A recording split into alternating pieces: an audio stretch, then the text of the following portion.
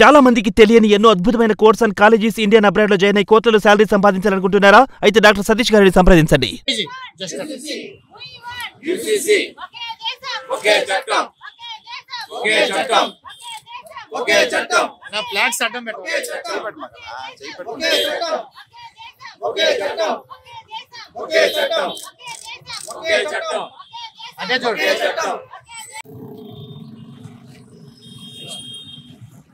భారతదేశ ప్రభుత్వం రాజ్యాంగపరంగా చట్టంలో కొన్ని మార్పులు చేస్తూ గత తొమ్మిది సంవత్సరాల నుంచి కూడా దేశ సమగ్రత కోసం దేశంలో ఉన్న పౌరులు సమన్వయం కోసం అనేక మార్పులు చేసుకుంటూ ఈ రోజున యూనిఫామ్ కామన్ సివిల్ కోడ్ కార్యక్రమాన్ని శ్రీకారం చుట్టారు.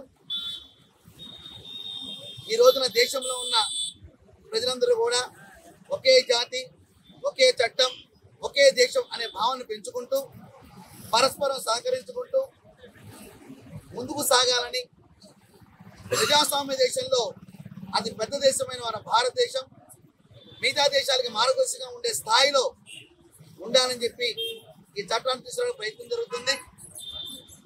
మరి మతము కులము వర్ణము వర్గం అనే భేదభావం లేకుండా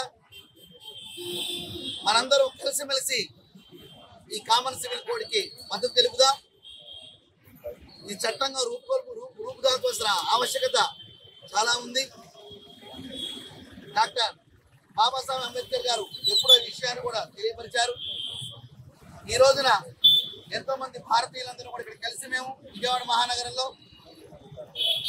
హిందూ ముస్లిం క్రిస్టియన్ ఐక్యవేదిక ద్వారా సంతకాల సేకరణ కార్యక్రమం ప్రారంభించుకున్నాం.